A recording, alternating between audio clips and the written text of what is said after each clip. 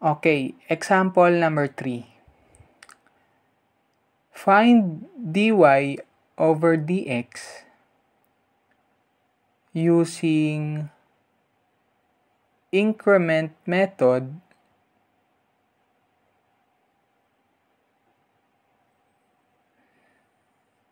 given y is equal to sine theta. Okay. So, unang step ulit.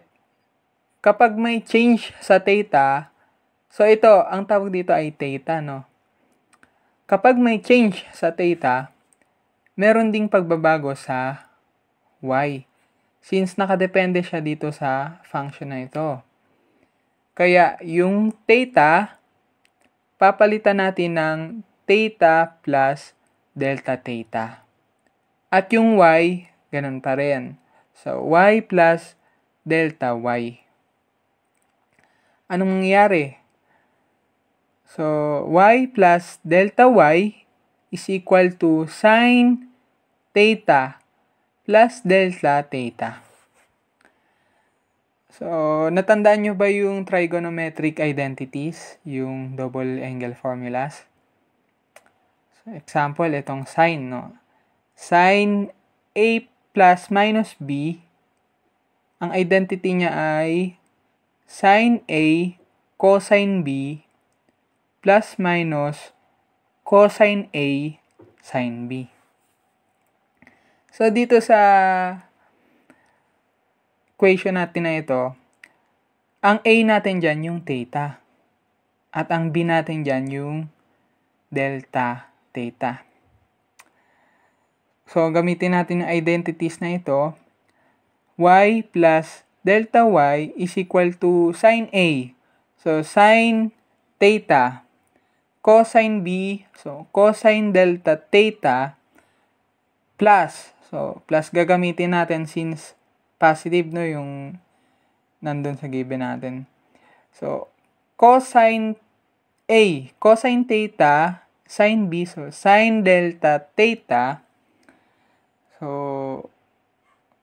anong mangyayari? Kapag nilipat na natin yung y, which is yung f of x, or yung given natin na sine theta, ang magiging delta y natin ay delta y is equal to sine theta cosine delta theta plus cosine theta sine delta theta minus so yung function natin sine theta.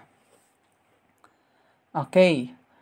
So mapapansin nyo yung like terms dyan yung sine theta di ba?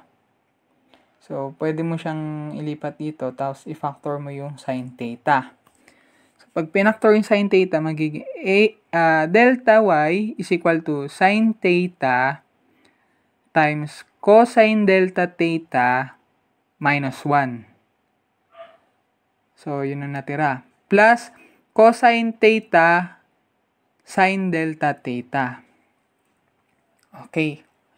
So, yung step number 3, di-divide natin saan? Sa delta theta no with respect to y. So delta theta uh, delta y over delta theta is equal to sine theta times cosine delta theta minus 1 plus cosine theta sine delta theta all over delta theta. So, wala naman, hindi naman natin makakancel yung delta theta dyan, di ba? Mapapansin nyo. So, step 4 na tayo. Lilimit na natin siya. So, limit of delta y over delta theta as delta theta approaches to 0. So, itong buong ito, lilimit mo yan. Limit of sine theta. Actually, pwede nating paghiwalayin siya eh. Para mas madali tayo. So, paghiwalay natin ng denominator, no? So, una, limit of sine theta times cosine delta theta minus 1 over delta theta. Plus, so, itong limit nitong isa. So, limit of cosine theta sine delta theta over delta theta as delta theta approaches to 0. Okay. Since ang concern natin dito, yung delta theta approaches to 0, so itong sine theta natin, pwede na natin tong ilabas, no? Kasi ang concern nga natin yung delta theta. So, ang matitira, so sine theta times limit of cosine delta theta minus 1 over delta theta as delta theta approaches to 0 plus. So, yung concern ulit natin, yung delta theta, ilalabas natin yung cosine theta. Imumultiply natin sa limit of sine delta theta over delta theta as delta theta approach, approaches to 0.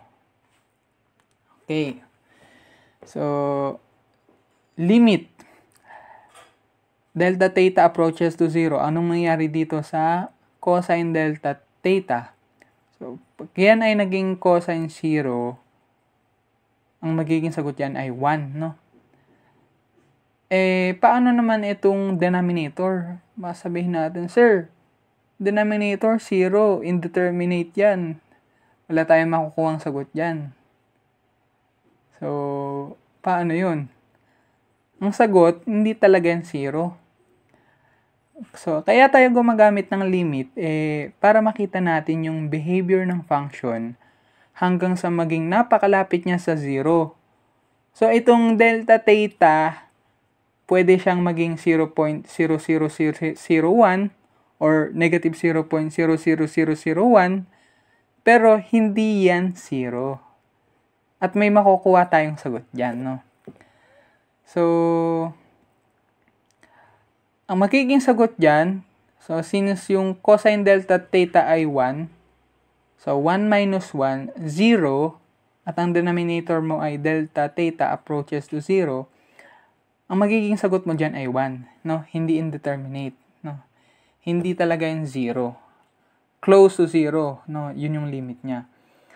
So, kung 0 ito, mumultiply mo sa sine theta, ang magiging sagot mo dyan ay 0. Okay. So, paano naman itong plus cosine theta times limit of sine delta theta over delta theta as delta theta approaches to 0. Natandaan niyo yung uh, theorem, yung sa limit, no?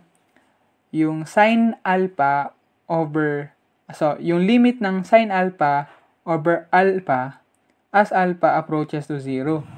So, anong magiging sagot dyan? 1. So, yan yung theorem no, ng sine alpha over alpha. So, kung ito ay sabihin natin yung alpha dyan ay delta theta. So, limit of sine delta theta over delta theta as delta theta approaches to 0. Sagot yan ay 1. So, ang magiging final answer natin, since ito ay 1, ito tayong kung sa cosine theta, final answer natin ay dy over dx is equal to cosine, uh, is equal to 0 plus cosine theta or simply cosine theta. Kaya yung derivative ng function natin na ito na sine theta, nakuha natin na cosine theta using increment method.